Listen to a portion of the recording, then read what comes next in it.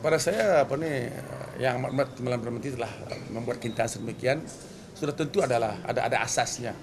Dan pada saya kita mengamalkan satu sistem negara yang berdemokrasi. Dan kita adalah sebuah kerajaan yang dipilih oleh rakyat.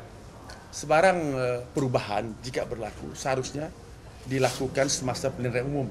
Kerana pilihan umum itu adalah uh, tempat kita untuk bersaing dalam politik masing-masing sama ada parti pemerintah atau parti lawan kita akan menghidangkan dasar ekonomi mereka, dasar politik mereka kepada rakyat.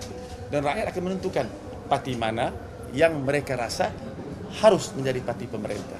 Yang salah ialah apabila kita terlibat dalam cuba menggulingkan kerajaan secara tidak demokratik. Di mana kita bersekongkol dengan pihak-pihak tertentu.